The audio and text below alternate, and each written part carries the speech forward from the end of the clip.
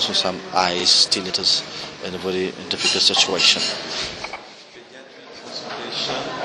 They had uh, uh, traveling from from Kandahar to Helmand provinces. On the way, their car was stopped and. Uh,